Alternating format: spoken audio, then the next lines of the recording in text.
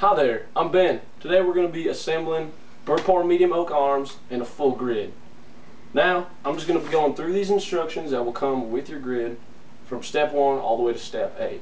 For starters, step 1A is going to be attaching hinges to the wooden arms. If you purchase metal arms, just see step 1B of your instructions. Alright, we're going to start with our left arm here. It's labeled L for left.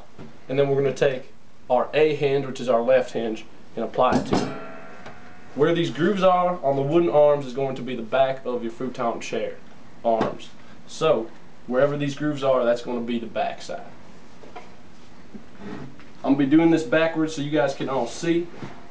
First off, we're going to take our hinge A and place it over the holes which are located on the arm. Just like that. Make sure the holes line up.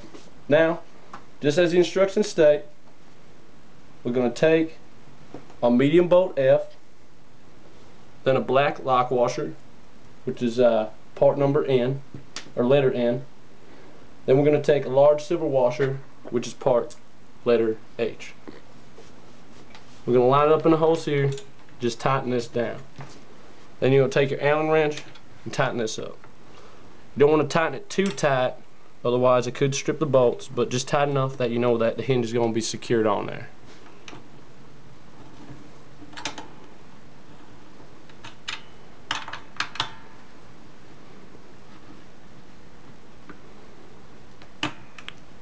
Alright, now we're going to put the backside bolt in again. Medium 1 inch bolt, then a black lock washer, then a large silver washer. By the Power TV, I'm going to be using this drill for all these in, uh, drilling all these screws in. Uh, for you, you might just have to use a wrench. It's going to take a little bit longer, unless you do have a drill like this. Alright, now that that's complete, your left hinge is done. So we can set that off to the side. Now we're just going to do the right one.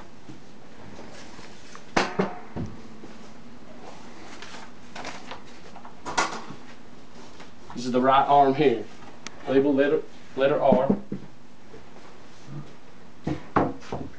Now we're going to take our hinge B, do the same thing, place it above the bolts, where the engraving's here is going to be the back side.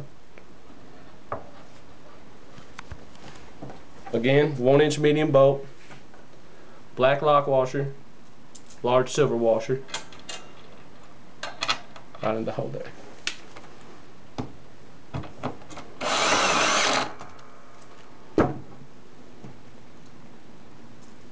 Same thing on the back side of the hinge.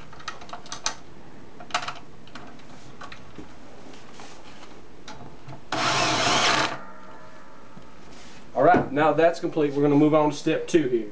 This is uh, going to be assembling your stretcher rails. Now your stretcher rails are the four long metal pieces that come with your, your grid. So you're going to need those, and you're also going to need these T-connectors. As step two states here, assembly of front and back stretcher rails. So we're going to start by inserting these rails onto the T-connector. Now the T-connector looks like a U shape like this. And you're going to face that towards you. And then on these stretcher rails, there's going to be a hole on one side like this. So make sure that hole is in line with the front hole on this. Just slide the T-connector right into the rail. Like so. Then take another rail Wherever the hole is, make sure that's facing you.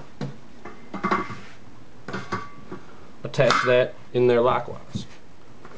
Now, you're going to take two of your letter S bolts, which is your shortest bolts that you have, and you're just going to put those in to the holes to connect the stretcher rails to the T-connector.